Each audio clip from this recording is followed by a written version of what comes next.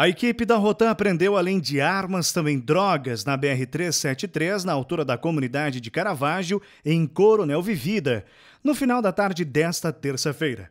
Duas pessoas estão envolvidas no crime, uma delas menor, de 17 anos.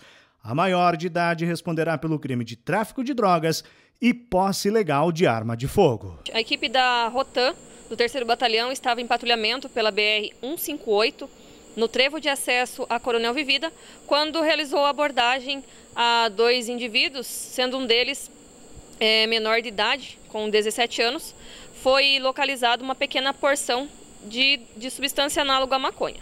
Ao ser questionado onde havia adquirido a droga, ele apontou aos policiais militares o local onde havia adquirido a substância.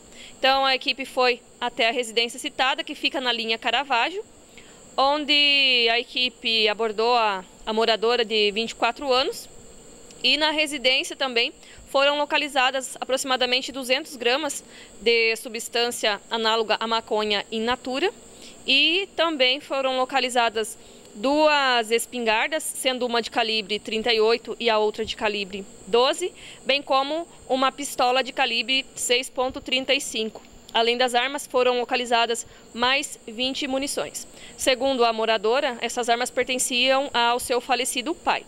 Diante dos fatos, ela recebeu a voz de prisão, né? E como essas armas não tinham registro, foram conduzidas, né? Ela e a arma e as drogas apreendidas para os procedimentos de polícia judiciária.